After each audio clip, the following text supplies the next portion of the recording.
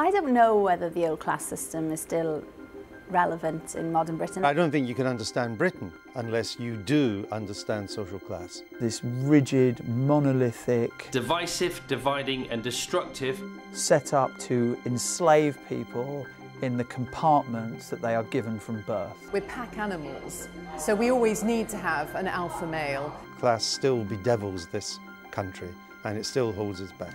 It's not massively important what family you're born into. Anyone can do whatever they want. We have to probably find new ways of describing our society.